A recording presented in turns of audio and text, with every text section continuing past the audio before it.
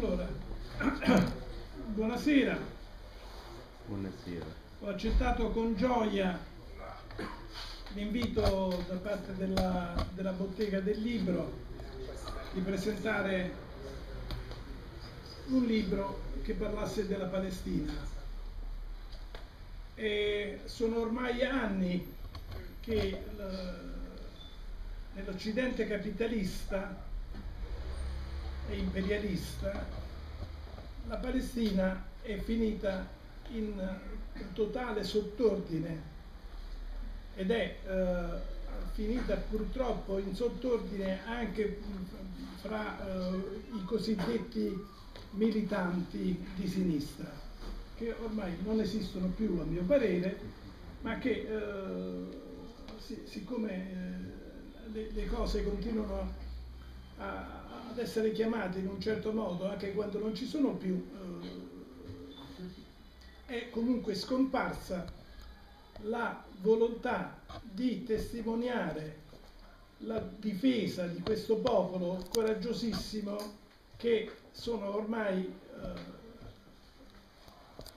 ormai tantissimi anni, immaginate il dramma è cominciato già nel 48 e eh, per il quale esiste ancora oggi una occupazione militare. Tutti coloro che dicono che, siano, che in Palestina si scontrino due diritti uguali sono dei mentitori per la gola, sono degli imbroglioni proprio, perché in Palestina c'è uno scontro fra oppressori ed oppressi oppressi, oppressori sono gli israeliani che continuano un processo di colonizzazione cominciato alla fine del, del, del, dell'Ottocento e oppressi sono i palestinesi che continuano a resistere in condizioni estremamente difficili sulla propria terra.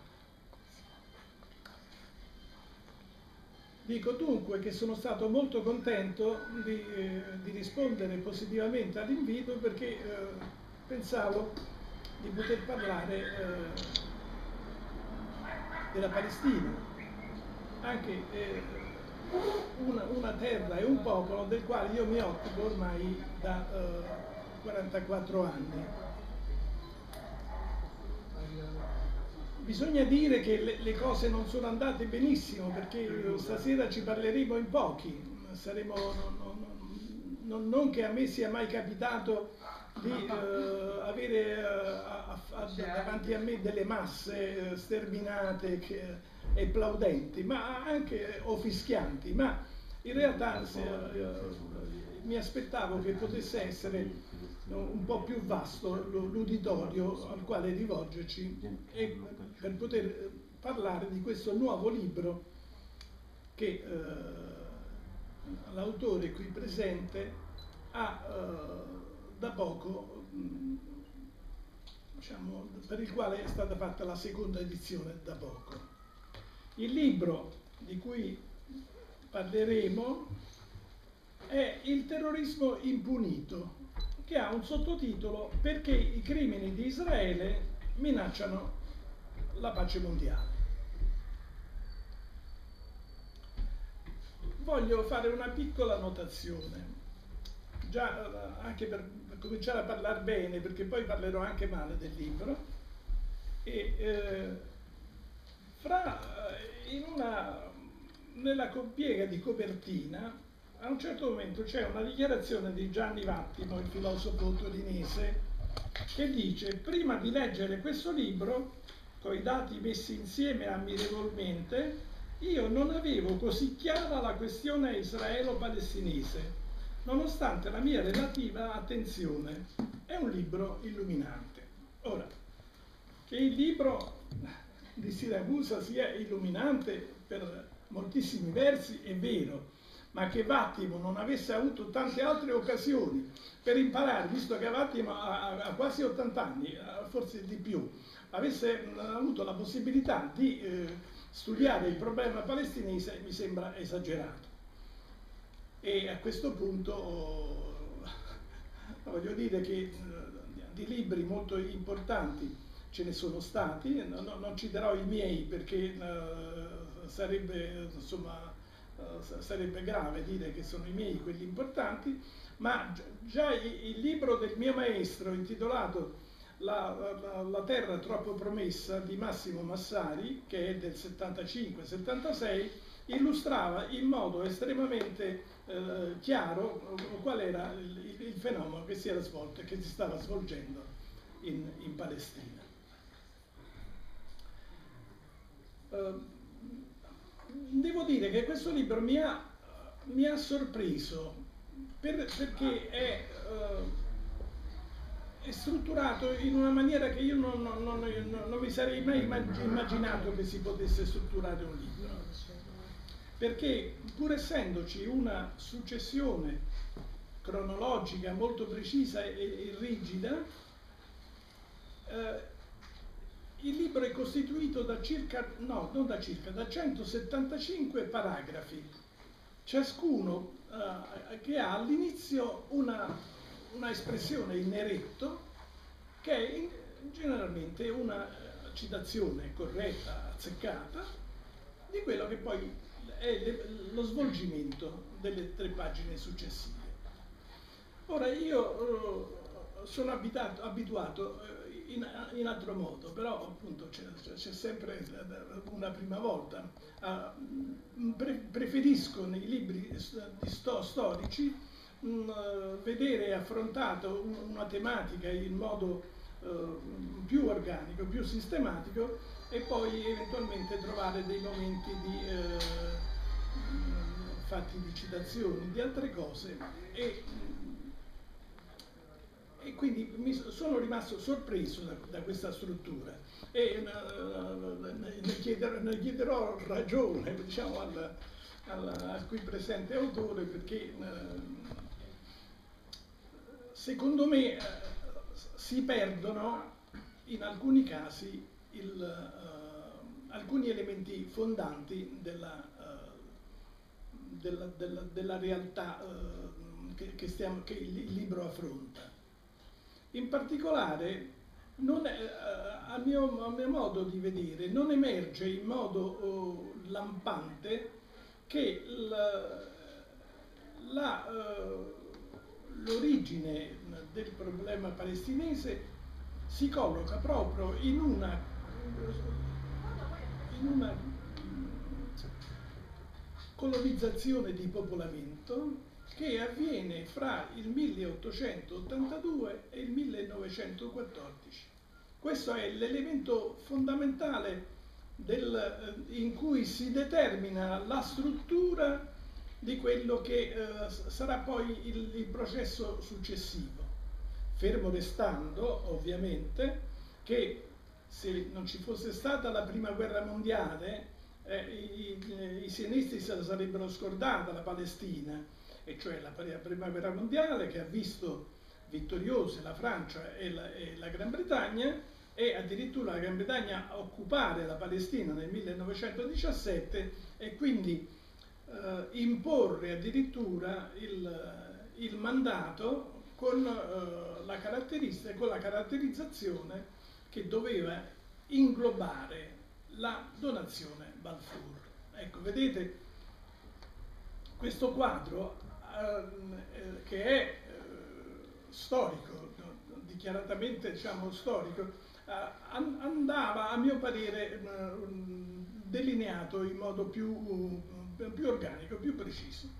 Non, non faccio, ripeto, faccio soltanto una critica di quello che è il mio modo di vedere questo processo e non non posso uh, sindacare certo il, e sono pronto quindi a, a, a, diciamo, a misurarmi con questa situazione a, fronte di, di chi ha, pensato e ha, immaginato in modo diverso di esprimere questa lunga storia della, della Palestina.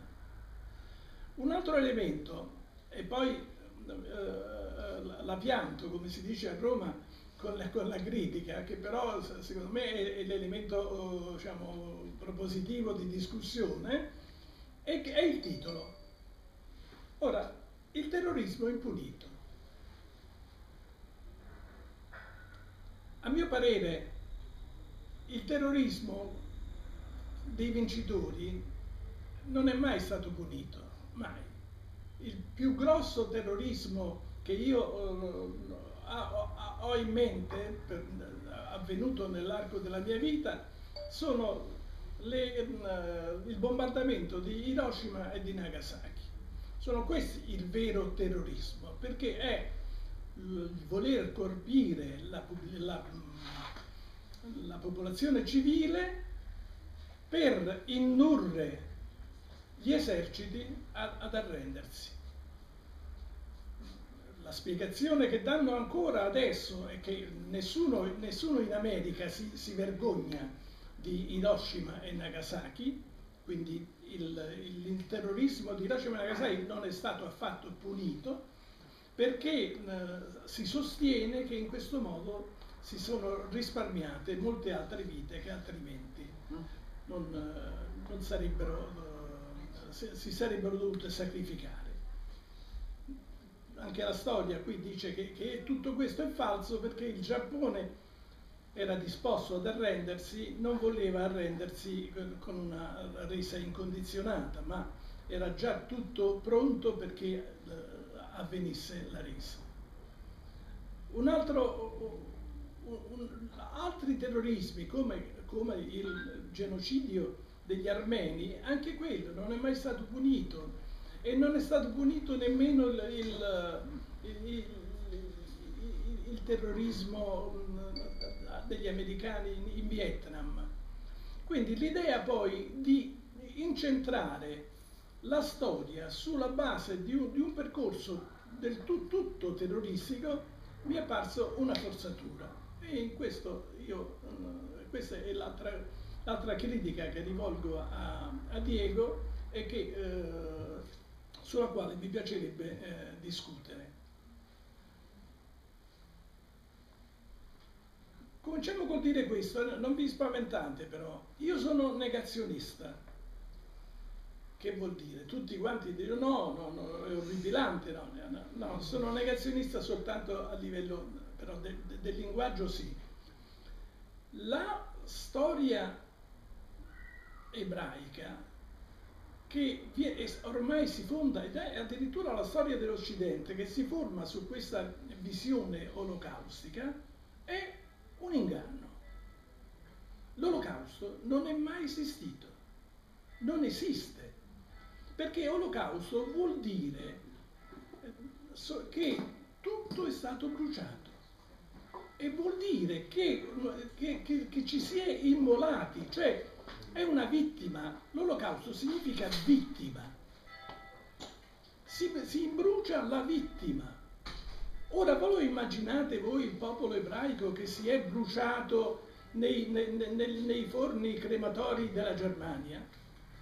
Questo no, ma sono, diciamo, ho delle persone eh, molto più importanti di me che suggeriscono l'idea. Per me si tratta di genocidio nazista. Questa è la formulazione corretta di ciò che è avvenuto in Germania e in Polonia nel, nel, negli anni fra il 41 e il 45. L'aver accettato e tuttora, anche qui, eh, al solito, le parole sono, sono pietre, le parole sono eh, elementi che definiscono e costringono a pensare in modo diverso chi, eh, rispetto a fatti che hanno un altro significato. Allora il fatto che tutti in Italia, in Europa, negli Stati Uniti mettano al primo posto la parola olocausto e con la O maiuscola, perché non ce ne può essere un altro. Quando si è parlato di olocausto dei, dei, a, a, proposito dei, invece degli armeni, ad insorgere sono state proprio le comunità ebraiche eh, statunitensi che hanno detto che non si poteva fare un confronto. Ora, non credo che il confronto potesse avvenire sul piano dei numeri, perché eh, comunque gli armeni erano circa un milione e mezzo, quindi non erano, non erano certo poco per poter eh, eh, per poter dire che era stato un gioco. A proposito, no, questo, questo è un inciso, ve lo devo dire assolutamente. C'è un giornalista mh, del Corriere della Sera che si chiama Lorenzo Cremolisi. Lorenzo è un tuo omonimo. E eh, del quale io avevo, avevo, letto tra l'altro la sua tesi di laurea in cui raccontava la storia dei kibbutz. Bene, l'ho sentito intervistato alla radio a proposito di quello che stava succedendo in Siria.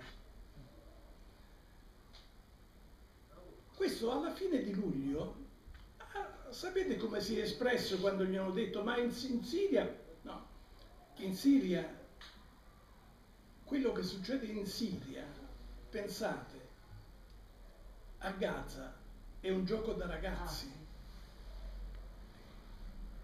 Ha avuto il coraggio, ma quale che sia la, la formulazione e l'idea de, de, del peso di quello che sta avvenendo in un posto e in un altro, perché le, le, le dimensioni sono... De, ma come fa a venire in mente un gioco da ragazzi mentre si stanno, si stanno uccidendo 2000, più di 2000 persone, si stanno distruggendo case che chissà quando saranno ricostruite e, si stanno ammazzando per, per bambini e, e, e donne e, a fronte di 75 morti israeliani.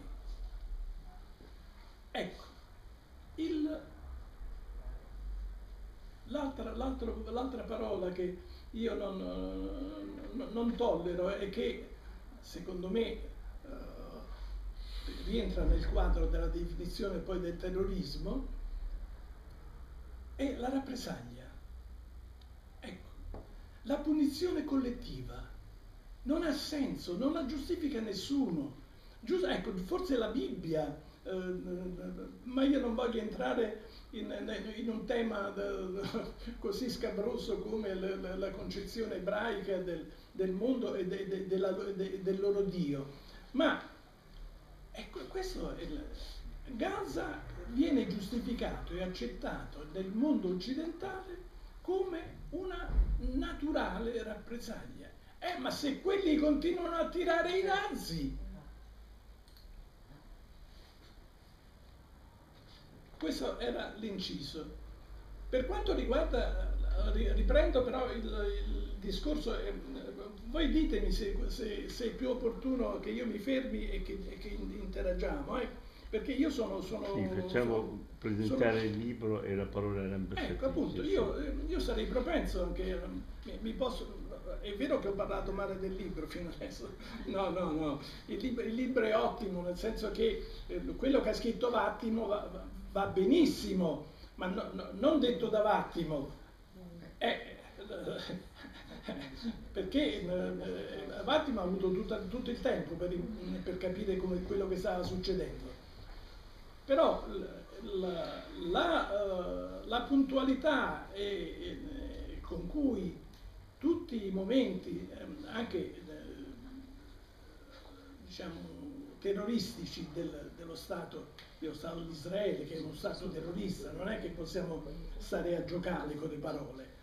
Eh, si bombardano i civili, addirittura si inventano i rumori le, le che avvertono uscite prima dalle case, insomma, no, avete sentito tutti che, di che cosa si tratta. Quindi lo Stato terrorista di Israele non, non, non io non lo, cioè non lo, metto in discussione, ma l'ho già denunciato da, da, da, ben 15 anni fa e più. E questo quindi è il, un po' l'impressione che, che, io ho, ho, riportato dalla lettura di questo libro, che ripeto è uh, fior da fiore, si possono prendere queste uh, frasi in grassetto, questi paragrafi e, e trovare uh, ricchezza di elaborazione, ricchezza di contenuto, eccetera. Parlo io? Sì. allora, avrei dovuto mostrarvi delle immagini perché è mia consuetudine parlare con i miei lettori dimostrando le cose che dico perché la storia si fa con i documenti. Cioè come in un tribunale quando si emette una sentenza, se il giudice non ha le prove non può condannare. In realtà i libri che presenteremo stasera non sono uno ma sono due. Sono il terrorismo impunito che è il mio primo libro e poi Vivere con la spada di Livia Rocac che è la mia traduzione dall'inglese di un libro molto importante che tuttora è stato negletto e che è stato boicottato dalle comunità ebraiche e da tutto il sistema dell'informazione che il sionismo controlla. È uscito soltanto nel 1980 negli Stati Uniti grazie all'interessamento di Noam Chomsky e grazie addirittura a una cooperativa di giovani intellettuali e studenti arabi che hanno organizzato una cooperativa per stampare libro. Il titolo originale non è Vivere con la spada, ma è Il terrorismo sacro di Israele. Vivere con la spada è il titolo dell'edizione tedesca, Leben mit Schwert, che noi abbiamo mutuato, d'accordo con l'editore tedesco che è un nostro amico, e abbiamo deciso di usare questa espressione, che in realtà è una frase di Moshe Dayan, quando dice il nostro destino di colonia è quello di essere, di vivere con la spada, eccetera, eccetera. Quindi, eh, che poi è il dramma di Israele, insomma, in perenne guerra con tutti, con tutti. Il dramma che mi ha spinto a scrivere questo libro e a tradurre l'altro è questo. Nel 2006 ci fu l'attacco al Libano, vi ricordate? Io stavo passando le vacanze nella mia casa beata Salina nelle isole Olie. E tra questa mia felicità provvisoria e questa tragedia che avveniva, avvenne, come dire, un cortocircuito. Quello che mi stupì, mi sconvolse fu l'alto numero di morti civili, la ferocia con cui avveniva, avvenivano i massacri. Voglio ricordare che una delle immagini che colpì di più fu la fila di agricoltori che con i loro carri portavano in una eh, fabbrica i loro prodotti per essere trasformati in marmellate e succo di frutta, li bombardarono tutti, non sopravvisse neanche una persona. Poi dissero ma secondo noi erano carri armati, eccetera, eccetera. Ma in realtà sapevano benissimo che quelli non erano carri armati, non erano soldati, non erano persone che potevano in qualche modo contrastare l'avanzata israeliana. Allora in quel momento io decisi che bisognava eh, scrivere un'opera che esplorasse tutta la questione palestinese attraverso un'angolazione concettuale, che è quella del terrorismo. Ora, siccome il concetto di terrorismo viene usato da Israele in modo ossessivo, quotidianamente, per identificare, criminalizzare, demonizzare i palestinesi, a mio parere andava specularmente capovolto, analizzato in tutte le sue dimensioni storiche e ideologiche e costringere, costringere il lettore a misurarsi con una verità che viene puntualmente contraddetta da tutto il grande sistema dell'informazione di massa. Vedete, io mostro sempre questa frase di Malcolm X. If you aren't careful, the newspaper will have you hating the people who is being oppressed and loving the people who is doing the oppressing se non state attenti, i giornali vi faranno odiare gli oppressi e amare gli oppressori. Questo è quello che è successo al popolo palestinese. E guardate che è una delle ingiustizie più gravi, che la vittima sia trasformata in carnefice. La nostra coscienza di essere umani non può non ribellarsi. Questa è la motivazione, amico mio, per cui ho scritto queste libro attraverso il concetto di terrorismo che viene addirittura teorizzato, ma molto prima della Shoah, ma già verso la fine dell'Ottocento. Ho dovuto fare una ricerca sui testi dei, degli autori sionisti, eh, rabbini, intellettuali, eccetera, dove si motiva lo strumento del terrore per inverare questa profezia biblica del popolo eletto che deve trovare la sua terra, la sua collocazione. La prima menzogna che viene diffusa qual è? Un popolo senza terra per una terra senza popolo. Questa è la grande menzogna. ed è stato un ebreo, Asher Gisberg, il cui pseudonimo in ebraico era Hahat Haham, che vuol dire uno del popolo, che era un intellettuale ebreo russo che era un mistico. Era un mistico. Lui aveva il concetto invece non del sionismo politico, che è un'aberrazione, ma del sionismo religioso, ovvero vedere nel, eh, nella terra di Palestina, come dire, gli incunaboli, il luogo in cui la memoria del popolo che l'ha abbandonato duemila anni prima può trovare i segni della propria memoria. Tempio di Salomone, il muro del pianto, la, la tomba di Rachele e così via. E quindi lui diceva, noi dobbiamo andare in Palestina non per colonizzarla e opprimere gli arabi, ma per creare un fermento spirituale e culturale del giudaismo. Tant'è vero che lui negli anni venti fa un viaggio, fa un viaggio in Palestina, la gira tutta. Non dimenticate che tutta la Palestina, tutta, è grande quanto la Sicilia, eh? sono circa 25 km quadrati, 25.000 km quadrati, non è che sia mezza Italia. Quindi lui l'ha girata in pochi giorni e ha visto che tutta la Palestina era coltivata. Dice non è vero che è vuota, tutta coltivata tranne alcune rocce e le dune del mare. Dice queste testuali parole. E poi nota che già i primi sionisti che si insediano in Palestina, che comprano le terre eh, per creare i primi nuclei dello Stato sionista trattano da cani, da bestie, i palestinesi. E lui lo dice, io ho fatto una lunga citazione in cui dice i nostri li trattano, li fustigano, li picchiano, no? Cioè, ma non si rendono conto che gli arabi sono intelligenti, come veri figli di Sem un giorno si ribelleranno. Ed è un facile profeta in questo. E non è un caso che Hashem Gisberg, Ahat Aham, pseudonimo, è mal visto in fondo nella cultura sionista gli avranno dedicato qualche strada, qualche piazza, ma in realtà non è il padre fondatore dello Stato di Israele, tutt'altro. Allora quello che mi premeva mettere in evidenza era creare uno strumento di controinformazione, ma non per fare da controinformazione fino a se stessa, per riscontrare il nucleo della verità storica, perché finora c'è stato veramente un capovolgimento speculare della verità, che non può essere accettato. Anche Napoleone diceva temo di più tre giornali che centomila baionette, che sapeva benissimo che l'informazione è fondamentale l'informazione. Io poi adesso vi farò vedere l'ultimo scoop, che spero abbia una grande udienza nell'opinione pubblica, eh, non solo italiana ma internazionale, di come avviene la formazione del consenso attraverso la manipolazione di massa dell'informazione.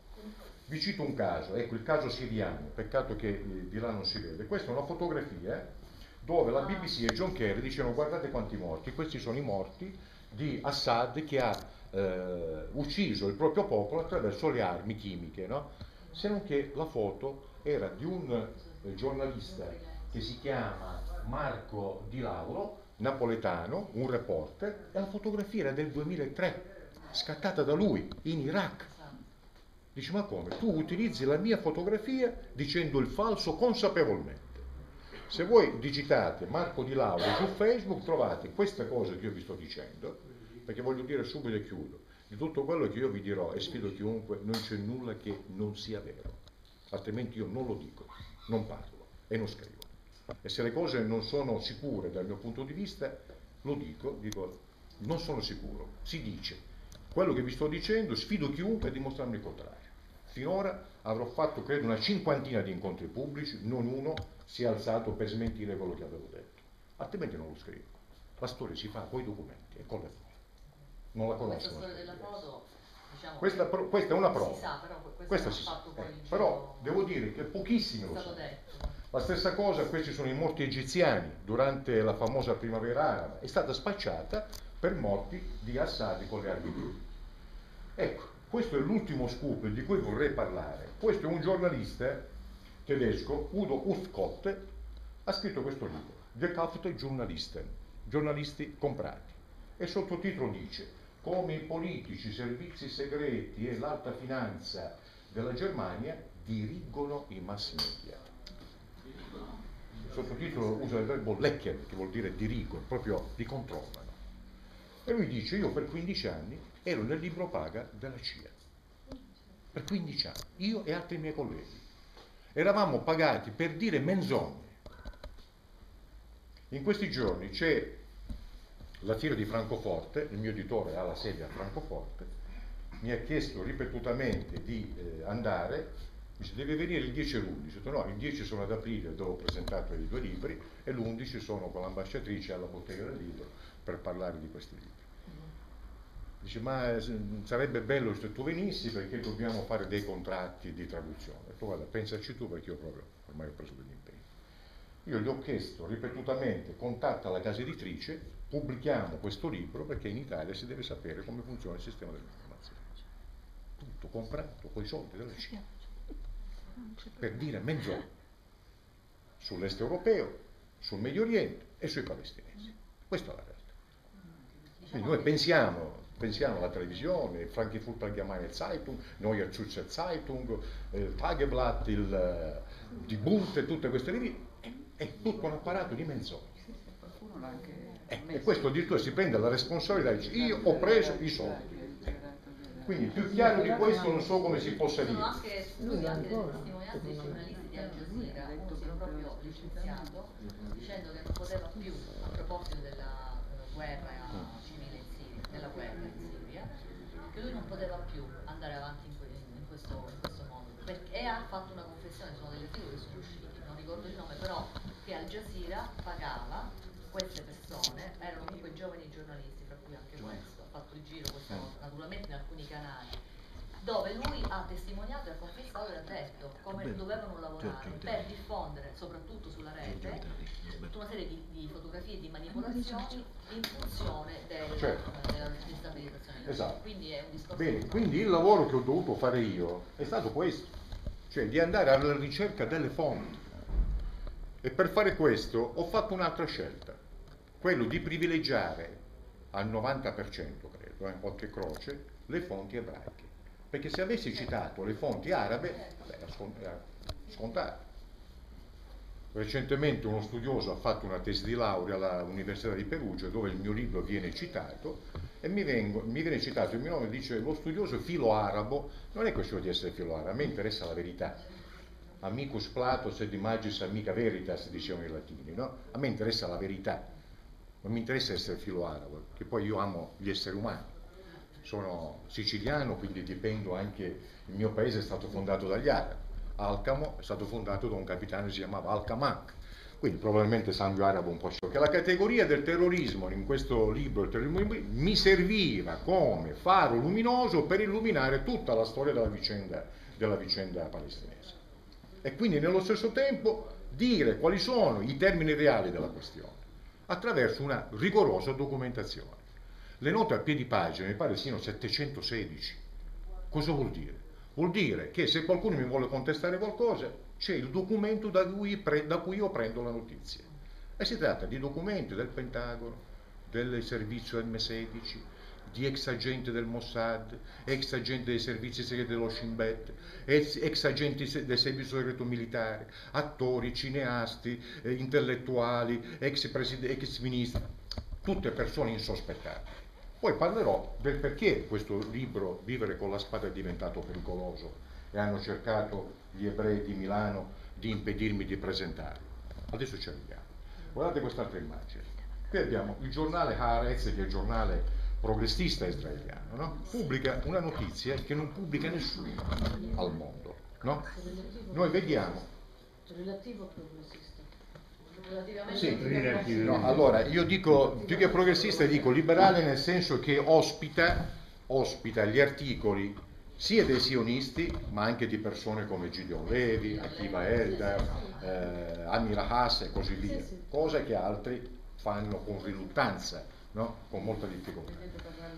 Allora, il giornale Haaretz dà una bellissima notizia, mostra le immagini di quello che è accaduto a Kiev nella piazza dove eh, i nazisti hanno preso poi il potere e riconosce che ci sono alcuni ufficiali, alcuni soldati dell'esercito israeliano che agiscono sotto il comando dei nazisti e si chiede cosa ci fanno questo.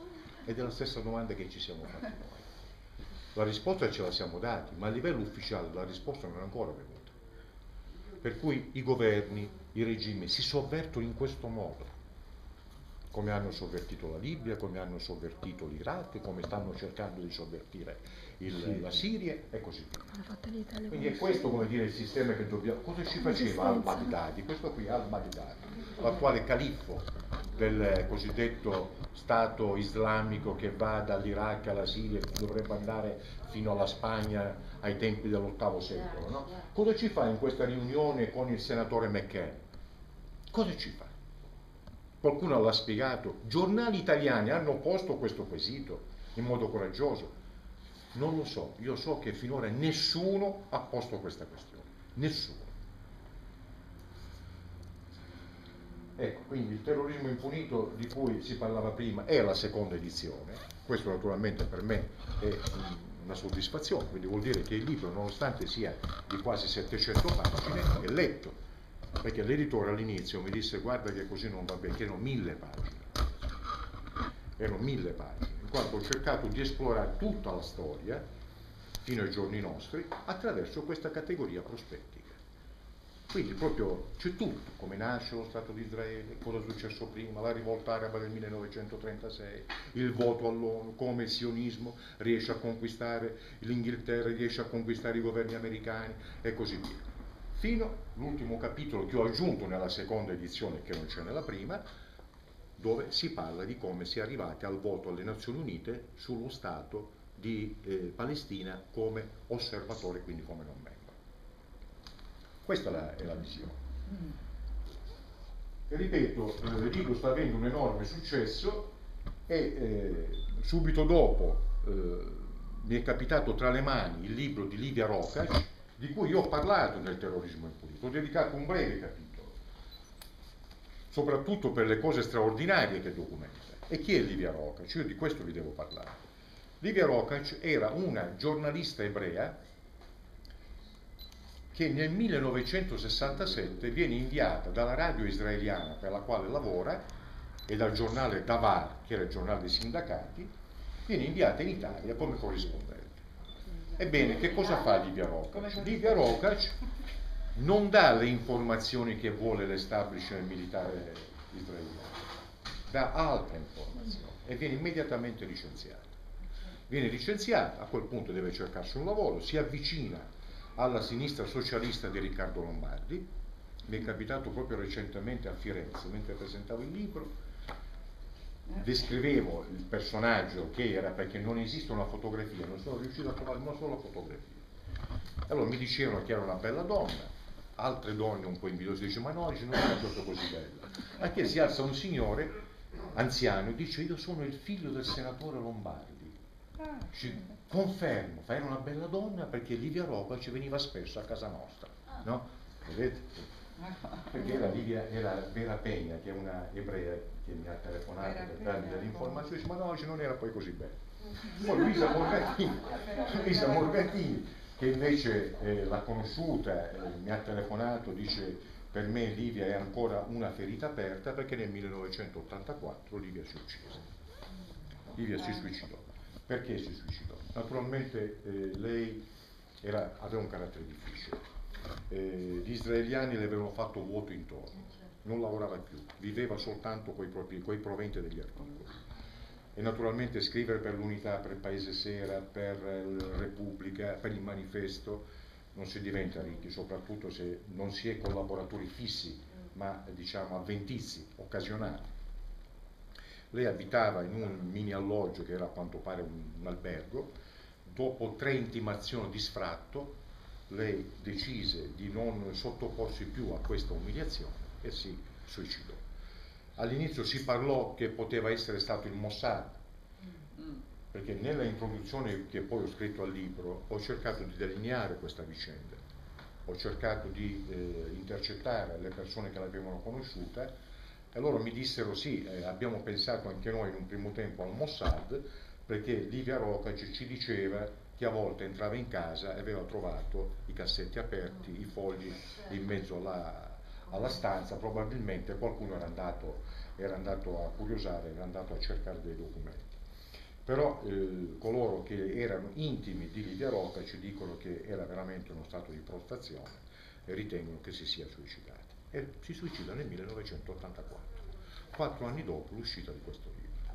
Perché questo libro dava fastidio? Dava fastidio perché ha un sottotitolo che dice ancora, il terrorismo sacro di Israele, uno studio basato sui diari di Moshe Sharet. Chi era Moshe Sharet? Moshe Sharet era il numero due del sionismo mondiale. Dopo Ben Gurion c'era lui, fu ministro degli esteri e poi per un breve periodo fu anche presidente del Consiglio, cioè primo ministro. Livia Rokac era figlia di Israel Rokac, che fu sindaco di Tel Aviv e ministro degli interni. Quindi parlava da una posizione altamente credibile, altamente credibile. E quindi enormemente pericolosa per, per il sionismo e per lo Stato israeliano. Questa è la ragione per cui attorno a questo è Moshe Charret. E cosa succede? Moshe Charret, durante il periodo in cui è primo ministro, tiene un diario. In questo diario lui annota puntualmente tutto quello che gli succede in quegli anni, siamo negli anni subito dopo la proclamazione dello Stato di Israele. E anche nel più eh, chiuso, ottuso dei sionisti bisogna riconoscere che a volte la coscienza emerge. In Moshe Charret la, la coscienza era emersa. E lui ha provato orrore per tutti i crimini di cui era a conoscenza e che come primo ministro doveva coprire e negare però non lo poteva negare al suo diario. Qualcuno dirà, ma probabilmente come hanno cercato di fare, eh, era un tipo, come dire, vanitoso, voleva colpire qualcuno, teneva il diario, no. Il diario non era destinato alla pubblicazione. Perché se un diario fosse destinato alla pubblicazione, potrebbe esserci il sospetto che l'autore voglia colpire qualcuno oppure magari sia malato di protagonismo, di egocentrismo e così via. Si trattava di appunti di lavoro, non destinati a nessuno. E io sono convinto che nessuno mente a se stesso. Quando da piccoli a 10-15 anni ci innamoravamo e scrivevamo il diario sentimentale, non mentivamo a noi stessi. Quindi lui ha detto la verità. Le verità sono sconvolgenti. Oltretutto in questo studio, perché i diari sono più di mille pagine, questo è Ben Gurion e Moshe Charret. In questo studio Moshe Charret affronta alcuni problemi, i massacri che ci sono stati dalla polizia e poi soprattutto i falsi incidenti. Cioè bisognava creare sempre un incidente falso, dare la colpa ai palestinesi, mobilitare il sistema dell'informazione, fare la guerra, rubare territorio. Questo è il paradigma, mm. questo è lo schema. Quello che tutt'oggi succede. Come il soldati. Esatto. E questo schema, questo schema è stato applicato rigorosamente come fosse un teorema, come fosse un teorema dall'inizio fino alla fine. E Moshe Ceretti questo lo scrive, diceva di essere sconvolto per tutto quello che è successo. ripeto, grazie a Noam Chomsky, questo che è il più grande linguista vivente, il più grande intellettuale del mondo, secondo me. Esce il libro, 20 giugno, grazie ad alcuni amici di Milano, decidiamo di presentarlo a Milano. La mia amica Anita Sonego, che è consigliera comunale del gruppo Sinistra per Pisapia, chiede a Pisapia, al sindaco di Milano, la disponibilità di Palazzo Appiani. Palazzo Appiani si trova in pieno centro, vicino al teatro, il piccolo teatro di Strella, proprio dietro. Due mesi prima ero stato con Monio Vadi a un convegno sul sionismo che aveva avuto un grande successo. A quel punto i sionisti annidati dentro la giunta di centro-sinistra e dentro il PD fanno un comunicato stampa all'ANSA. E l'ANSA pubblica questo comunicato in cui la comunità ebraica lamenta che il comune di Milano dà un proprio prestigioso palazzo per parlare male di Israele, per presentare un libro che dice infamie e falsità. No? A quel punto il centro-sinistra si spacca, il PD si spacca in due, perché dice no, hanno ragione, se voi ebrei non siete d'accordo, andate là e contestate. Al professor Siragusa, gli contestate quello che dice. E c'è una grande polemica, questi sono addirittura gli articoli del giornale, eh, esce su Contropiano, l'Ansa della Lombardia, il giornale di Berlusconi, Italia Oggi, Repubblica e varie riviste, News Italia 24, L'Osservatorio dell'Antisemitismo, di nuovo il giornale di Milano e il libro contro Israele sbriciola la maggioranza, che già la maggioranza del centro-sinistra vacillava per questa cosa. Successe veramente il finimento. Devo dire che poi in realtà il libro fu presentato, ecco, questa è l'immagine del libro, era il 20 giugno, c'era la partita Italia-Costa Rica. Io telefonai agli amici di Milano, tu qui finisci che facciamo un buco, non viene nessuno, e infatti era, eravamo veramente preoccupati. La sala era piena. Il libro andò esaurito, fra pochi giorni, entro la fine di ottobre, uscirà la terza estate. Quindi senza volerlo qui era pieno, c'erano più di 100 persone, siamo rimasti senza quali? Di questo? Di questo qui. Di questo, di questo libro? Qui del- di questo libro Ah, con la ok. spada, perché questo l'avevo già pubblicato nel 2011. Questo fu, come dire, il segno che avevamo colpito giusto eh, traducendo questo libro. Ma scusi, lo sapere, ma durante la presentazione si sono presentati dei provocatori, cioè se eh, qualcuno della Allora, noi abbiamo a un certo momento preso la parola e abbiamo detto, se c'è qualcuno della comunità ebraica, venga avanti, noi siamo disposti ad ascoltarlo dall'inizio fino alla fine. Quelli di Milano ne hanno identificato uno che stava in fondo e faceva delle brutte facce che poi se ne è andato. Ma non hanno avuto il coraggio di cimentarsi con noi. Perché ripeto, questo era il diario di un sionista. Loro non accettano nulla, nessuna forma di verità. Tutto è menzogna, anche quando sono loro stessi ad ammettere i loro stessi errori. Questa guardate, che è la cosa più aberrante che ci sia.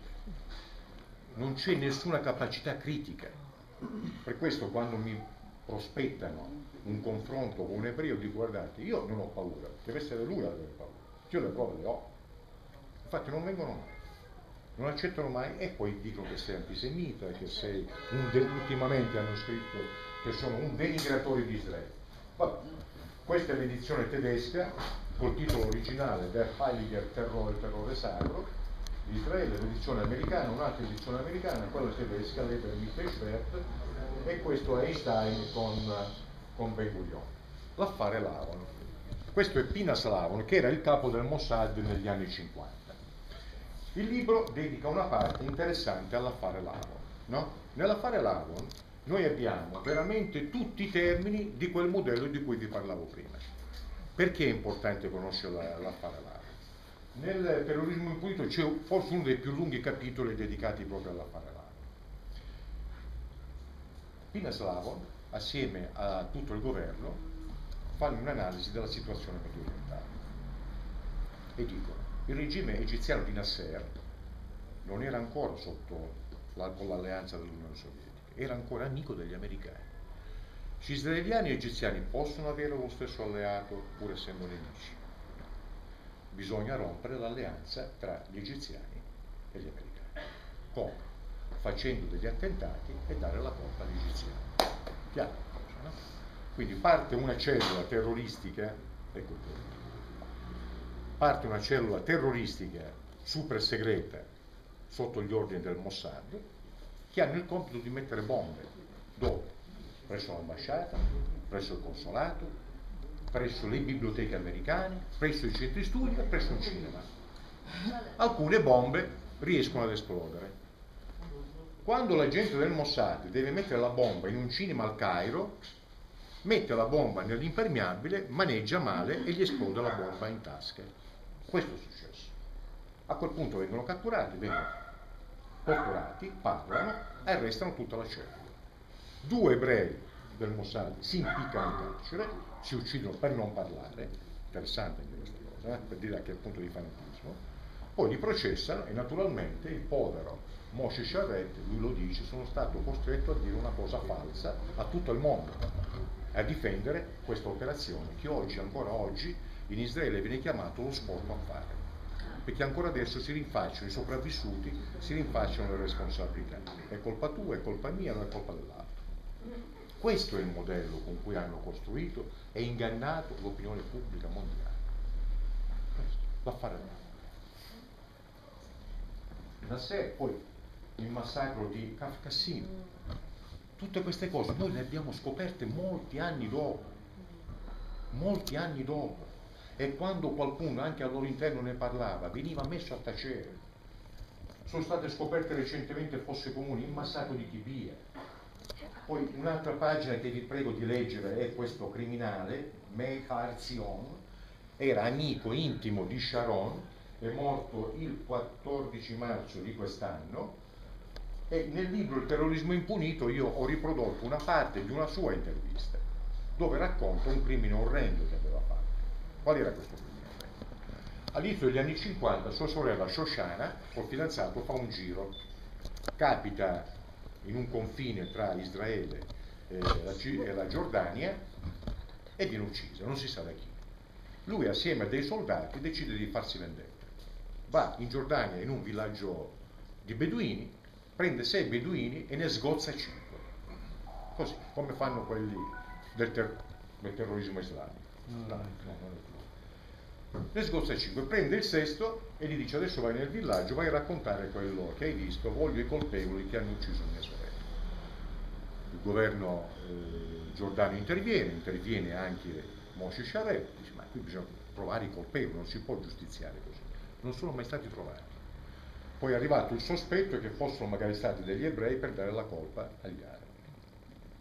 Lui, in un'intervista successiva che ho riprodotto integralmente, racconta un episodio di come si andava a caccia di palestinesi, come si va a caccia di conigli. No?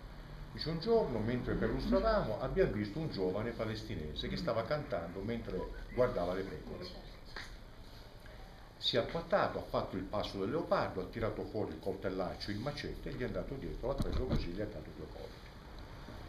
Il capitolo si intitola E il canto si trasformerà in un gento di morte, il canto del palestinese.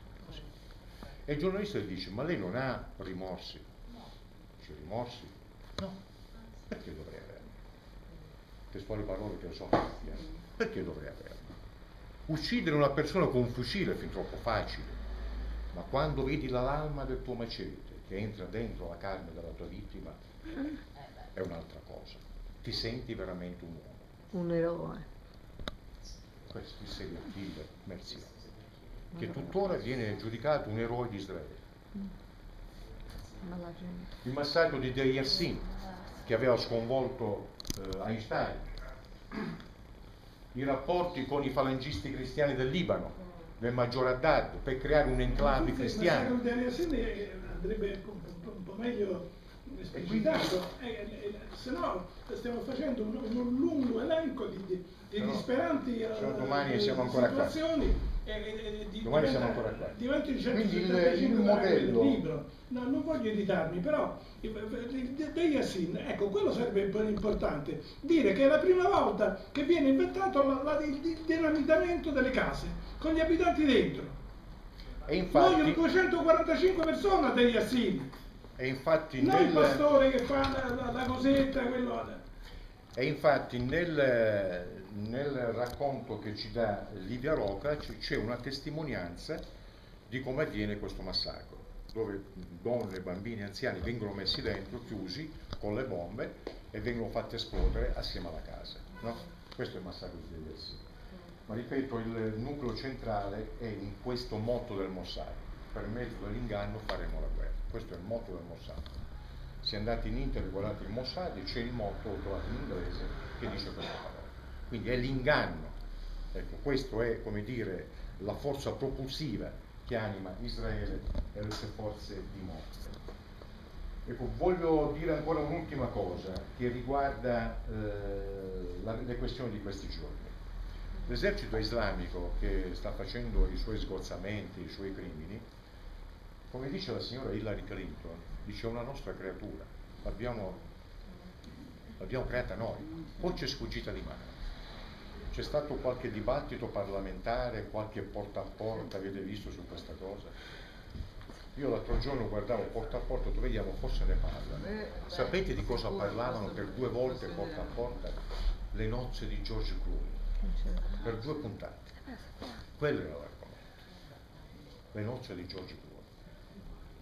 E il sabato, due sabati fa, no? il sabato scorso c'è stata una manifestazione, adesso mo, eh, hanno parlato tantissimo di Giorgio Clooney eh, su Rai News 24, nemmeno un accenno alla manifestazione Eh, certo, per i diritti dei certo. palestinesi. Era bella grossa, era nazionale. Ecco, poi non l'ultima era- cosa, poi mi fermo, perché il discorso è molto, molto lungo. Guardate questa immagine, questo signore qui è l'attuale capo del Mossad. Si chiama Tamir Pardo e questo è il giornale Haaretz. Il giornale Haaretz esce con questo titolo, ve lo dico in italiano, dice agghiacciante, profezia premonitrice del capo del Mossad sul rapimento. Che era successo? Era successo questo, che ci fu una riunione nell'ufficio del ministro dell'interno a cui fu chiamato il capo del Mossad. Si stava discutendo di una legge che doveva disciplinare i rapporti tra lo Stato di Israele e gli arabi, i palestinesi nel caso di ostaggi da scambiare, come nel caso del soldato Shalit, no? che era stato catturato, la parola giusta è catturato durante il combattimento, perché le parole hanno un peso, perché l'ostaggio è un'altra cosa, questo era un prigioniero di guerra. L'ostaggio lo fanno i sequestratori i terroristi, no? Loro giocano su queste cose. Che fu scambiato con mille erotti palestinesi, no? Si parlava di una legge per disciplinare queste questioni. Ad un tratto succede questo. Il 5 giugno di quest'anno ha avuto luogo una riunione straordinaria nell'ufficio del ministro dell'interno. Il capo del Mossad, Tamir Parlo, ha detto ai presenti non dovete assolutamente approvare la legge che dà al governo la possibilità di scambiare terroristi condannati per omicidio. Questa legge avrà, vedete, terroristi sono sempre terroristi gli altri, ecco perché. Questa legge avrà come conseguenza la riduzione del campo d'azione del governo in caso di rapimenti. Pardo si è poi rivolto al ministro dell'economia Naftali Bennett, che è un nazista. Naftali Bennett è un nazista e gli dice, signor ministro, immagini uno scenario che preveda il rapimento di tre adolescenti israeliani. Dice quanti saranno? Dice che saranno adolescenti, tre. Che cosa farebbe lei se tre quattordicenni venissero rapiti da un insediamento tra una settimana? Dice addirittura che sono tre, quanti anni hanno, e dice poi fra una settimana. E dice anche che vengono da un insediamento, tutto vero. Che cosa ci farete con questa legge? L'unico errore è che non avvenne dopo una settimana, ma avvenne dopo dieci giorni, così come aveva detto questa la Pardo. fonte perché quest'opera Questo. già l'ho Eh. Questa è la traduzione che ho fatto io dall'inglese, voi andate in internet, vedrete quello che vi sto leggendo. questa. Cioè la, Ah, la, la dichia- Si cioè sapeva, loro sapevano prima che ci sarebbe stato. Sì, però diciamo che di solito se- per dire una cosa così rimane segreta. Come si trova? È uscito facile- fuori, Ah. attraverso i verbali, attraverso qualche voce, è uscito fuori questa discussione che ci fu tra Tamir Pardo e Naftali Bennett. Se fosse falso, ci sarebbe il finimondo in Israele. Quanti nei giornali italiani hanno commentato questa notizia? Forse il Fatto Quotidiano. E infatti io... eh, Claudio Fracassi ne ha parlato. E basta, che io sappia. Queste notizie è molto difficile trovarle, per esempio io vidi anche a suo tempo una notizia che diceva che eh, una, una delle madri dei ragazzi eh, si era lamentata perché eh, era, era molto strano praticamente al riconoscimento il cadavere del figlio, erano state eh, modificate delle prove, qualcosa del genere. Allora io lessi questa cosa, poi il giorno dopo la cercai e non l'ho più trovata. Non voglio dire che fosse stata cancellata, forse sono io che non sono eh, abbastanza brava a, a trovare le cose. Quindi eh, come si trovano queste notizie, per esempio, su, su Ma internet? guardi, io ci sono arrivato per caso perché per, per me, per quelli come me, leggere Arezzi tutti i giorni è un lavoro, Mm. ma tutti i giorni proprio, come fosse un lavoro. no? Quindi solo per un puro caso io ho scoperto questa, questa notizia. Poi c'è l'altra ipotesi, però ripeto ipotesi, eh? Ma Suarez? L'ha trovata? Suarez, sì. Suarez. l'altra ipotesi che dice che erano morti in un incidente stradale, li hanno tenuti al fresco, li hanno tirati fuori al momento opportuno. C'è anche questa versione, però ripeto, io non lo so. L'unica cosa che so è che il, il capo del Mossad lo sapeva con precisione prima che fosse successo. Quindi hanno accusato Hamas ingiustamente, poi esce la notizia, guardate, i giornali di, Monta- di, di Berlusconi. Israele, tregua 12 ore, la BBC, Hamas non c'entra con i ragazzi rapiti. Questa è la notizia del capo della polizia israeliana. Allora dico perché sono morti, sono stati uccisi 2000 Che giorno, che giorno ha fatto sta dichiarazione? Allora, che l'ho sentita? Il giorno, qual è? 25 7 2014 25 alle ore luglio. 23 quindi allora perché 2000 persone 2200 palestinesi sono stati uccisi? 75 persone sono morte eh, 11.000 feriti 10.000 11.000 case distrutte. Perché? qualcuno si è fatto una domanda? C'è stato il porta a porta Ballarò qualcosa niente. Quindi guardate la forza, la forza di penetrazione, di coinvolgimento che ha il sistema sionista e israeliano in- su tutti i mezzi di comunicazione. Prego. Comunque che sta una parte della stampa che sta parlando. Maurizio Torrealba scrisse quel libro del Pallotto, lo parlava del fatto che buttavano i bombe atomiche nel valde acquiferi. Non Una so. cosa di la news invece fece vedere che poi sparite la circolazione delle loro bombe, quelle che esplodevano a basso livello, quelle che c'erano dei reticoli dentro, no? Che tagliavano le gambe alla gente. Per cui che sta della gente che sta parlando. Però, ma e quando? Maurizio Torrealta io non l'ho mai più visto su Radio 24. l'hanno seccato. Eh, Tu hai scritto un appunto. libro tre pallotti Da che quando è c'è la Maggioni mi che è sembra che... difficile, che è difficile trovare un libricino piccolo dell'azienda. E poi c'è Come si intitola? Tre si chiama. Ah. Poi c'è stata una trasmissione di Rai News, pure quello giornalista che io conoscevo, Eh. che parlava che loro hanno fatto delle bombe ventilari, dei televisori dentro all'interno, queste esplodevano a bassi livelli, tagliavano le gambe, c'era, parlava dell'esperienza di un artista delle ambulanze palestinesi che era andato a prendere e si è trovato, dice, non ho sentito niente, sono trovato senza gambe, le cose addirittura sono state zuzzare, praticamente questi qui c'erano anche le ruote. Dove è questo? In Palestina. Ah, in dice. Poi quel servizio è sparito, io non sono più riuscito a ritrovarlo. Eh, questo- vede, eh, quello che dice lei, quello che dice lei è vero, però eh, questa conclusione mi dice che queste notizie che dovrebbero avere una diffusione di massa, cioè tutti lo dovrebbero sapere, in realtà non è così. Quel libro gli hanno fatto pubblicare su una cosa alternativa, lui lo Eh, cioè, eh. l'hanno fatto capo dalla Sì, parte, la stampa italiana non è del tutto. Infatti. Qualcuno ogni tanto c'è che. Poi l'altra cosa, l'altra cosa che poi è successa, L'altra cosa che poi successe...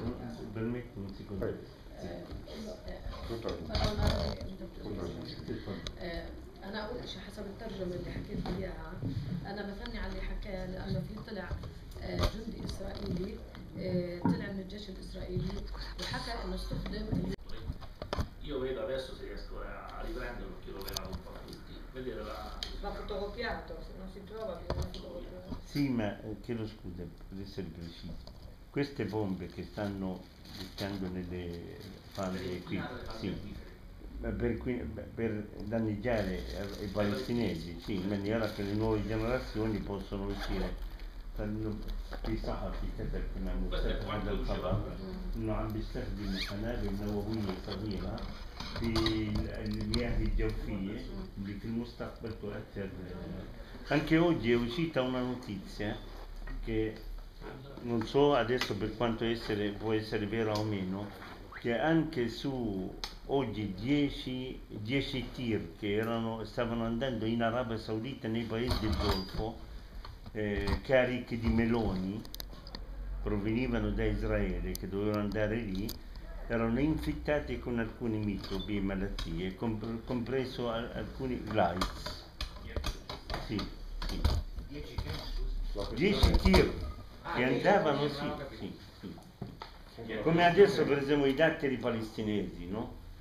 che arrivano anche in Italia se andate in qualche negozio li trovate questi grossi eccetera che non possono uscire con made in Palestina e devono per forza mettere loro li prendono e mettono made in Israele ma alcuni prodotti che sicuramente vanno nei paesi arabi vengono qual- sono sicuro iniettano dentro qualche eh, Ma niente di più Ma Forse anche quelli che vengono da noi. ما نتكلم يقول عن المواد البدائية حتى اليوم خرجت خرج خبر Niente più بعض facile. ال- بعض ال- بعض ال- البطاطا وبعدين الشمام اليوم انه بعض بعضهم قالوا انه حطوا فيه الايدز ميكروبي Io invece ho letto No. un articolo che per, siccome il boicottaggio comunque in parte c'è ormai, me- scrivono made in Palestina sui datteri che vengono dalle colonie.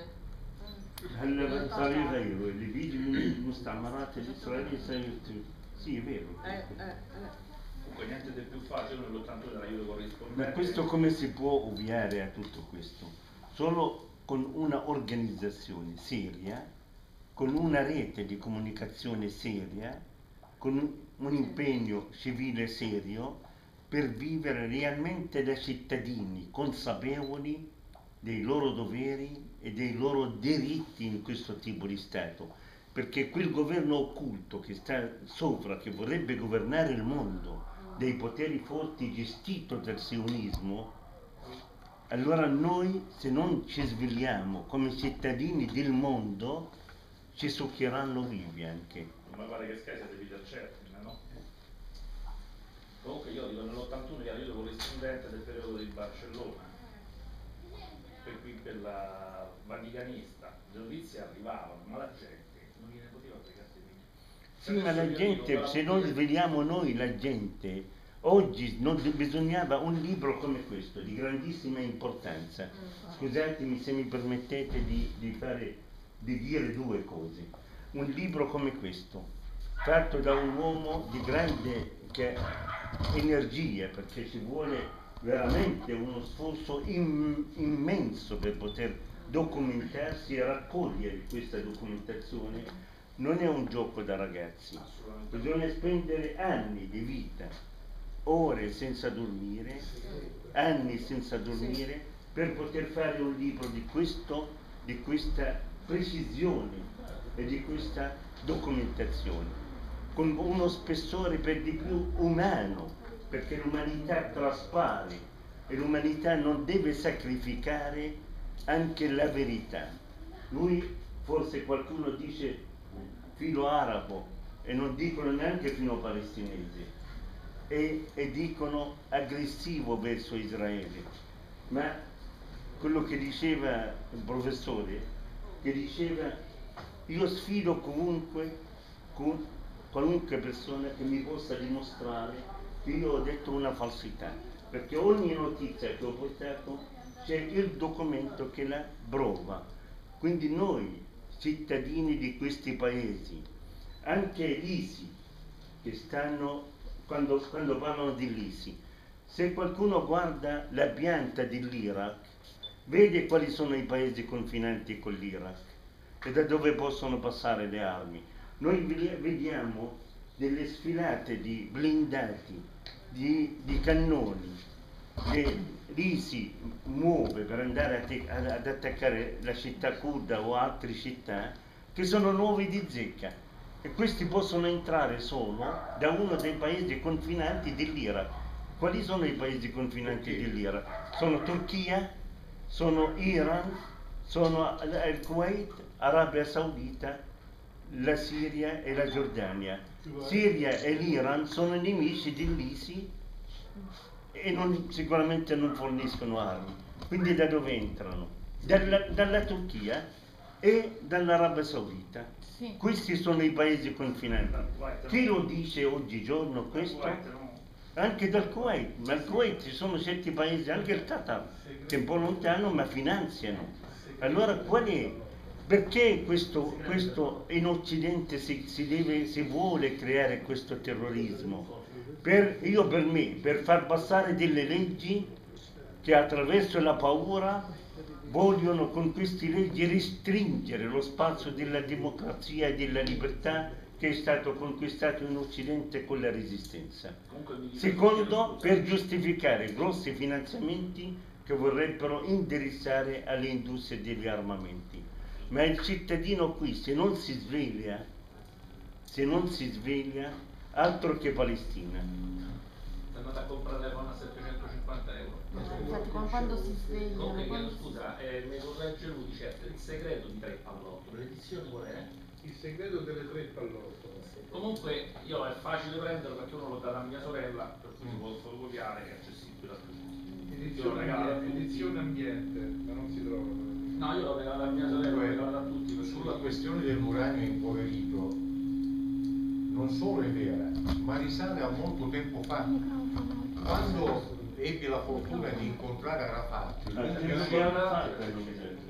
Arafat, quando lo incontrai l'11 luglio del 2004, mi diede due documenti. Mi diede una fotografia e tre fogli ciclostilati. Nei tre fogli ciclostilati si parlava dell'uso di uranio impoverito nei proiettili. Quell'uranio impoverito poi, addirittura anche il fosforo bianco, fu usato durante l'operazione Castellit, piombo. E ci sono le prove, ci sono le prove. L'altro documento che mi diede Arafat era una fotografia della Madonnina che c'è nel chiostro della chiesa della Natività. Ed era tutta la Madonnina crivellata di pallottole. Quando ci fu l'assedio della chiesa della Natività, ci fu uno sfregio alla cristianità da parte dei soldati israeliani. E i francescani? E Arafat mi disse, "Ci- vedi questa fotografia, non la vuole pubblicare nessuno. E i francescani? Perché c'era uno sfregio alla cristianità. Quindi che motivo c'era? Mentre si cercava di catturare i palestinesi, sparare contro la Madonnina, no? Non vuole pubblicarla nessuno, ce la do a te, provaci. Io arrivai a casa, la mandai a un giornale cattolico della mia città e la pubblicò il giorno dopo. Basti pensare che un giornalista questo, eh? italiano che, che era corrispondente, come è stato sconfinato come corrispondente del Vaticano. Vi ricordate l'immagine falsa che hanno i soldati che venivano buttati dalla finestra? Riccardo, Ah, sì, Riccardo. Cristiano, l'hanno, messo qui, l'hanno chiamato di là e messo qui. Qualunque giornalista italiano che si azzarda a dire un qualcosa in favore dei palestinesi, subito lo tolgono e lo mandano da qualche altra parte. Io tre anni e mezzo di periodico mi hanno cacciato via senza. Scusami?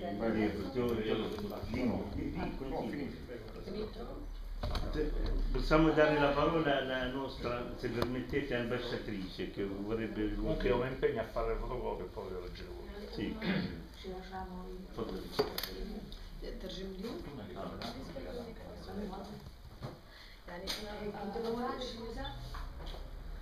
devo fare dare first of all. qualche futuro. Ah sì sì.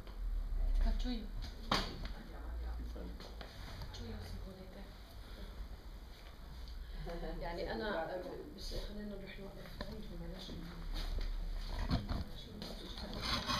أول شيء أنا آه، بعتبر حالي محظوظة كسفيرة فلسطين آه، بعتبر حالي محظوظة كسفيرة فلسطين إني أكون مع كاتبين مهمين تليان كتبوا عن فلسطين Sono, mi considero una donna fortunata come ambasciatrice della Palestina di essere accanto a due persone che hanno grande umanità, che hanno scritto sulla Palestina con grande impegno. وأنا بعتبر آه، آه، يعني اولا بتاسف اني بحكي تلياني بس بديت اتعلم التلياني من هذا الكتاب Eh, io chiedo scusa che non posso esprimermi in lingua italiana, ma ho cominciato anche a imparare l'italiano cominciando a leggere questo libro. بدي اقول لدييغو آه، شرفني واجاز على السفاره عشان يقدم لي الكتاب Mi vorrei dire a Diego che mi hai fatto un grande onore nella tua visita in ambasciata quando mi hai presentato, mi hai donato questo libro. وطلعت انا في الكتاب يعني قدرت اقرا الشابترز الموجودين بالكتاب Eh, ho, ho cominciato a, s- a sfogliare il libro e in qualche maniera sono riuscita a capire qualcosa sul, sull'indice delle argomentazioni trattate nel libro. ومع لغتي الطليانيه اللي كثير ضعيفه بس قدرت اطلع نتيجتين Eh, nonostante eh, la mia lingua italiana molto scarsa come conoscenza, ma due, due impressioni le ho potuto detrarre da questa lettura dell'indice del libro. اولا انه دييغو هو شجاع جدا اللي تطرق للتروريزم وانكوليتو prima di tutto il grande coraggio di Diego che ha toccato questo tipo di argomento nonostante tutti i rischi che uno possa correre. دييغو انت آه، عملت اشي ما قدرت تعمله لا الامم المتحده لهلا ولا قدرت تعمله كل المؤتمرات العالميه اللي تعرف ايش هو التروريزم Eh, Oh, e perché con tanto. questa opera Diego ha potuto realmente, nonostante tutti i convegni che le Nazioni Unite hanno, hanno svolto, sì, le Nazioni Unite, io mi ricordo anche del congresso a Sharm el Sheikh quando volevano definire cosa è il, il- il terrorismo, tutti i congressi dove si voleva discutere per dare una definizione al, ter- al termine terrorismo non si sono messi d'accordo, non sono riusciti a formulare una definizione. Diego con questa opera di fatto ha dato una giusta definizione pratica di che cosa è il terrorismo che lo pratica.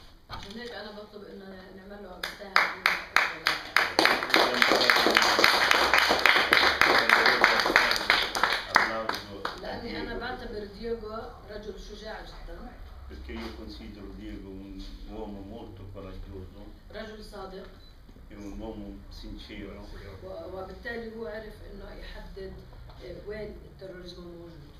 Ha potuto veramente con la sua intelligenza poter individuare realmente dove il terrorismo viene praticato, vissuto e dove si annulla. والحقيقة الثانية اللي عرفتها لما تصفحت الكتاب إنه هذا الكتاب يعتبر كتاب أكاديمي لأنه يحتوي على آه، أبواب آه، مرتبة تاريخيا ومرتبة بشكل آه، يستطيع أي من المستويات الإنسانية أن تقرأ هذا الكتاب وبالتالي أنا أنصح فيه الأكاديمية الإيطالية وغير الأكاديمية الإيطالية إذا ما ترجم إلى لغته. La seconda impressione con la quale che ho dedotto da questo libro è che questo libro può essere, oltre a essere letto da tutti, da tutti i ri- il livello culturale delle persone che lo possano prendere in mano, ma è un validissimo, validissimo testo che può essere usato nelle accademie come per la preparazione di coloro che vorrebbero svolgere qualunque funzione o avere una documentazione articolata su come sono avvenute le cose.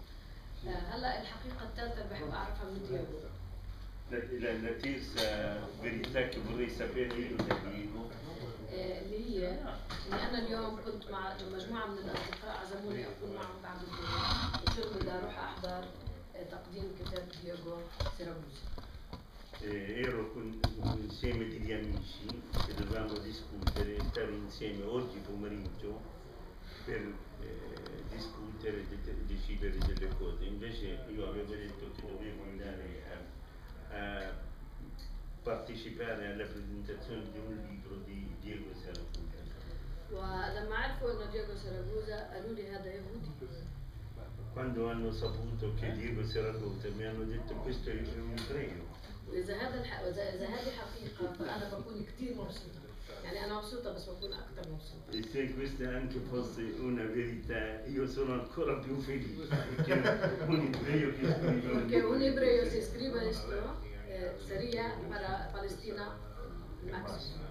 Sì, se un ebreo scrive un libro come questo per la Palestina è il massimo. أقول هذا لأن في مجموعة من اليهود الع- على مستوى عالمي أصدقاء لنا وكتبوا Perché io dico che ci sono anche uomini di grande eh, cultura a livello internazionale che sono anche di religione ebraica ma hanno scritto sulla giustezza della causa palestinese.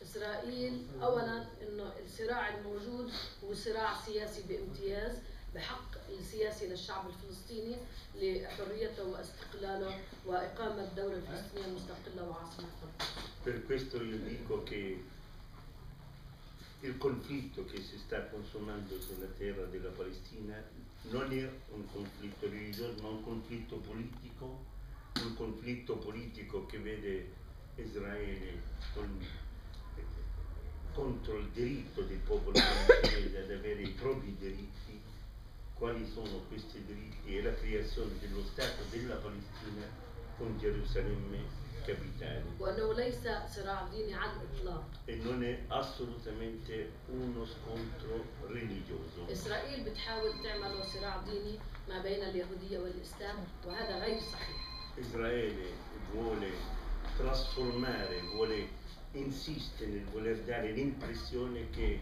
il conflitto che si sta consumando lì è un conflitto religioso fra l'ebraismo e l'Islam, ma questa è una falsificazione della realtà delle cose. أنا فلسطينية مسيحية وسلامة فلسطيني مسلم وفي أهافو فلسطيني يهودي Eh, io sono una palestinese cristiana, كاثوليك ca- cattolica.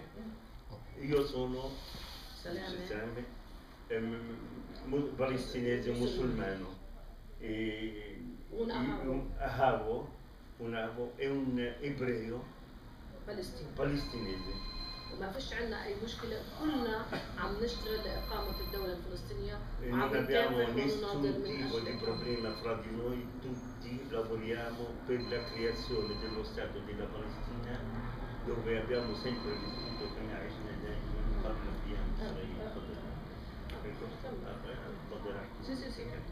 eh, come abbiamo sempre vissuto prima della creazione dello Stato di Israele, cristiani, musulmani, ebrei, indipendentemente dalla percentuale, ma abbiamo sempre vissuto con grande armonia, grande dignità, grande rispetto, ma anche grande amore umano. Questo che caratterizza il palestinese على الأساس هذا على أساس أنا لا أريد أن أطيل عليكم آه، فهناك كثير من القضايا اللي نقدر نحكي فيها بس بديش أخذ آه، يعني ال- Non vorrei prolungarmi di più, ci sono tanti argomenti che possiamo trattare, ma non voglio rubare tempo. بس بدي آه، بالنهاية أشكر دياغو على هذا الكتاب Vorrei infine ringraziare dal cuore Diego per questo libro. وأنا عادة بقول في نوعين من الفلسطينية فلسطينية بالدم وفلسطينية بالقوة أنا فلسطينية أنا وسلامة فلسطينيين بالدم ودياغو فلسطيني بالقلب ولربما جميعكم أيضا E io dico ci sono due tipi di palestinesi, c'è il palestinese perché ha il Per sangue sangue, palestinese per e c'è il palestinese dell'appartenenza del cuore. Diego sicuramente è un palestinese perché ha il cuore palestinese come sicuramente anche voi avete il cuore palestinese e siete palestinesi. وبيد يصير إن هم كلهم نعم siete اللي, اللي عمله دييغو لفلسطين في هذا الكتاب من الساعات العمل الطويلة آه هذه هي بتعتبره انه هو فلسطيني زينا Eh, tutto questo sforzo, questa testimonianza, questo sudore che ha speso Diego nel scrivere questo libro, fa sì con grande dignità lui appartiene e difende e ha l'entità palestinese.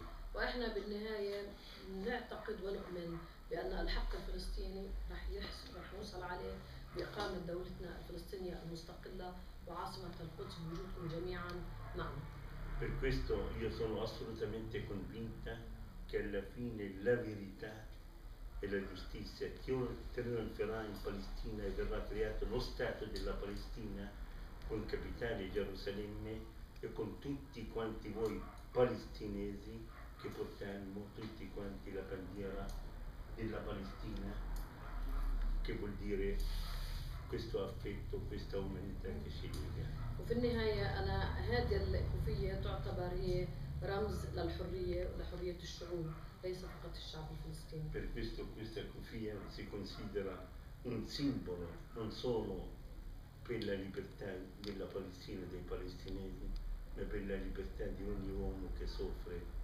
nel mondo. Mi permetti Diego che posso donarti questa, questo simbolo della Palestina e del mondo. Shukran.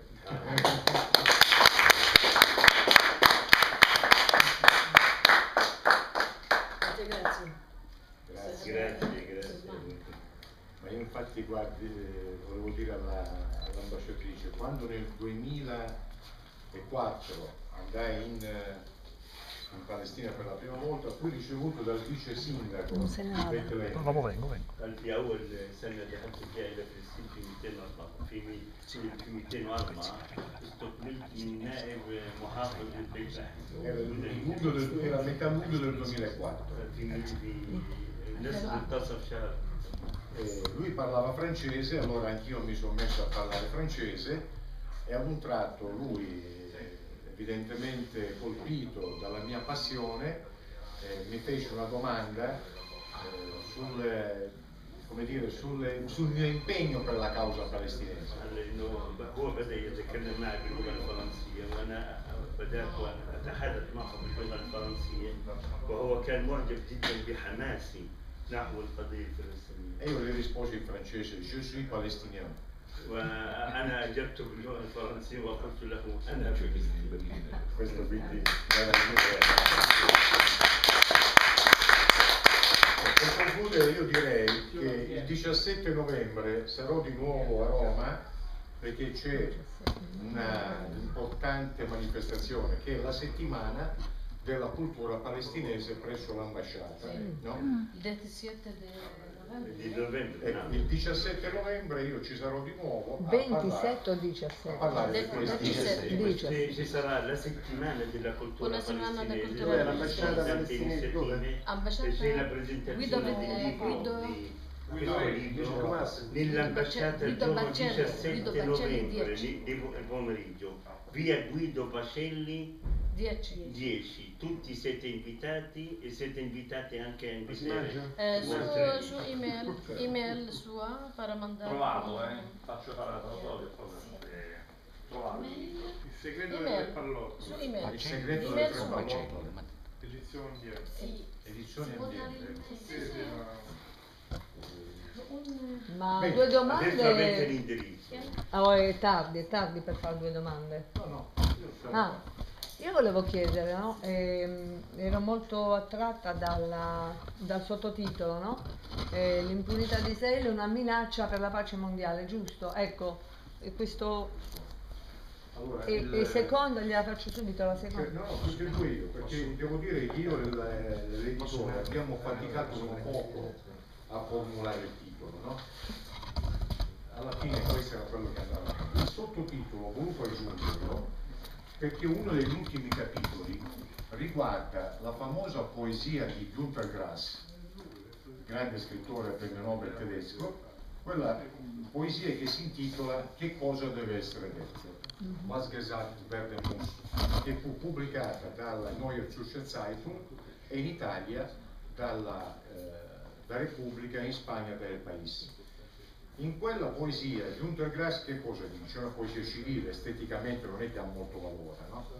Però è una poesia civile.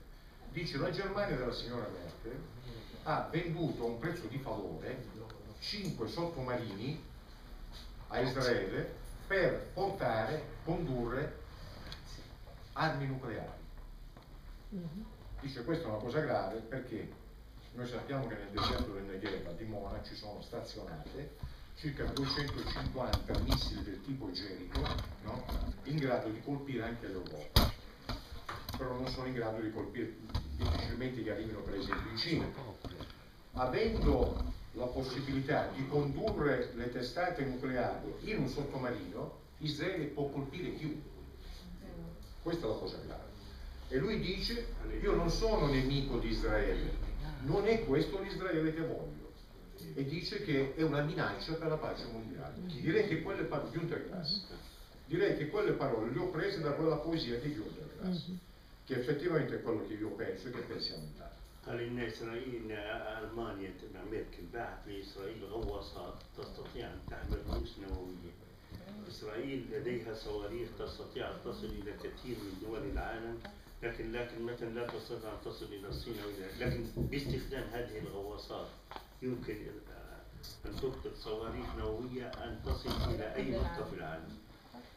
E la seconda domanda era eh, sull'ISIS, cioè eh, praticamente eh, la Clinton ha dichiarato che l'hanno finanziato loro e le è sfuggito di mano, però ci sono anche, eh, ho sentito su Pandora TV delle dichiarazioni, cioè dicevano che Obama ha dichiarato che Intanto però bombardano un po' anche Assad perché se no si rafforza troppo.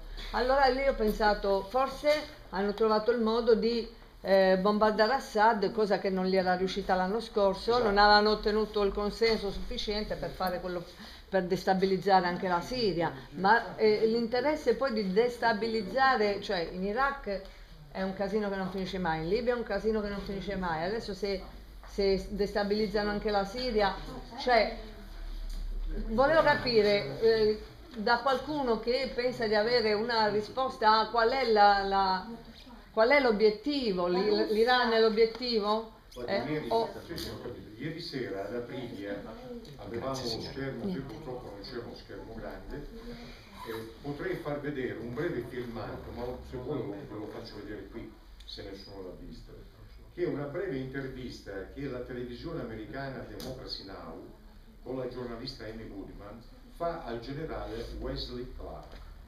E qui se vuole ve la faccio vedere breve. Wesley Clark dice io un giorno sono andato al Pentagono, questo prima di andare in pensione, eh, siamo nel 2003, prima di in pensione dice, un mio amico generale dice vieni, cammini, cammini, vieni dentro che ti devo parlare. Dice cosa c'è? Dice sai, mi hanno detto che andiamo in guerra. Dice in guerra? E in guerra perché? Dice non lo so. Mi hanno detto che in cinque anni dobbiamo sovvertire sette paesi. E li elenca. Se volete vederle qui. eh. Libia, Egitto, Iraq, Iran, eh, Siria, Libano, Somalia. Li elenca tutti, dice in cinque anni. Quindi questa cosa si sapeva già, non è una novità questa. Bisogna creare eh? il caos in tutti i paesi arabi che in qualche modo, guardi caso, che in qualche modo non sono amici di Israele. Mentre quelli che sono o amici o, comunque neutrali, Qatar, gli Emirati Arabi, l'Arabia Saudita, non li tocca nessuno. Quelli decapitano in piazza, tagliano le mani ai ladri, nessuno osa fiatare. Vogliono impedire alle donne di guidare la macchina, nessuno osa fiatare. no? Questa è la cosa importante. Ora, quando si scatenò la cosiddetta primavera siriana, è vero che c'erano delle condizioni di rinnovamento, però devo dire che Assad è stato intelligente, capì l'antifona e modificò l'articolo 7 della Costituzione. L'articolo, l'articolo 7 fu quello sottoposto a referendum che stabiliva il pluripartitismo. Quindi non più il partito base come monopartito, partito unico, ma il pluralismo politico. Nonostante questa concessione, ci furono moti di piazza e i testimoni dicono che c'era gente che parlava l'arabo con un accento diverso ed erano tutte persone venute da fuori. Così è cominciato. Anche se poi hanno costituito un governo dove adesso ci sono 17 partiti legalizzati nel Parlamento e ci sono tre partiti al governo, tra cui il ministro per esempio per la conciliazione non è del partito di Assad. Questa è la realtà. E piaccia o non piaccia, le elezioni presidenziali con tre candidati hanno dato la maggioranza ad Assad. Io poi di più non posso dire perché non è la mia specialità, non sono, devo dire, fortemente eh, preparato, posso dire quello che padre Haddad, il mio amico padre Haddad, invitato da me nella mia città, Biella, ha detto davanti a una grande platea di persone sul fatto che era uno Stato laico, e lo sarebbe ancora, che le varie confessioni sono libere di esprimersi, che nessuno minacciava l'altro, che lo Stato addirittura dà il terreno gratis a chiunque voglia costruire una chiesa e che le chiese non pagano la luce e l'acqua. Come l'Iraq. Questo è il discorso.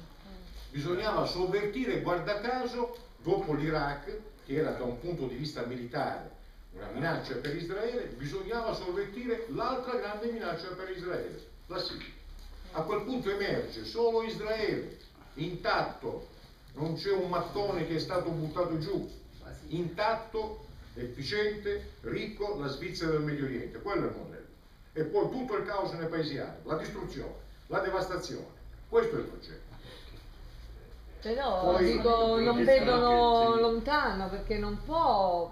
Mi no, come fanno a pensare di poter stare. Cioè, allora lo, lo scopo qual è? Lo scopo finale qual è? Perché Le risorse non possono. Ah, le trattative, o nelle trattative con le autorità palestinesi per trovare un accordo di pace. Kerry aveva chiesto un certo numero di mesi per condurre queste trattative e trovare un accordo. Netanyahu sempre antiponeva qualunque approfondimento di qualunque argomento con la necessità di riconoscere Israele come Stato ebraico.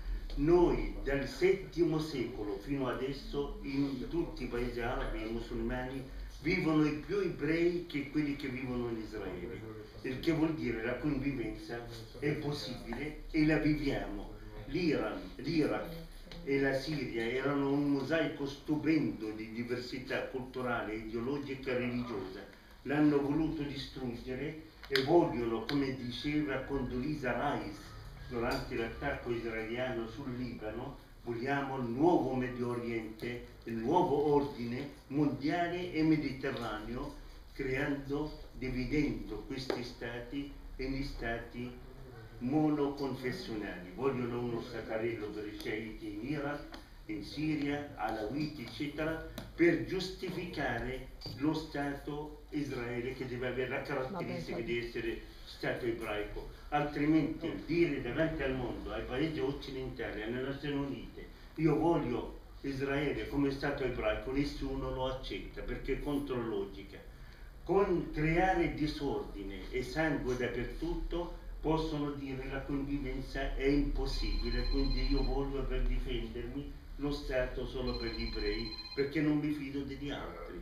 Questa è una logica sionista israeliana che vogliono creare questo terrore. Grazie. Grazie. L'incontro è finito. Grazie. grazie.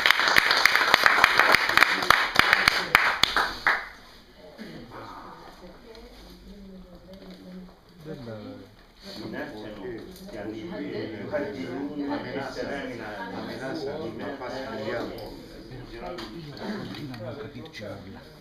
Questi ISIS, queste No, storie. continua a non Per esempio, io credo, eh,